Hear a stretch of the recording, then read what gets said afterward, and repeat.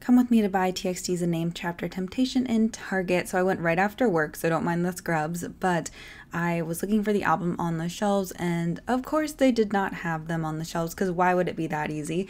So yeah, I was just checking out all the albums, was trying to decide if I needed another NCT album. I decided against it. Did get some granola though, and then I went to pick up my online order because I did order some earlier that day, and luckily they gave me all three versions plus the lullaby version. So super super excited. I absolutely adore this TXT album, and I unboxed these albums on YouTube, and that video is live right now so go check it out, see my photo card pulls.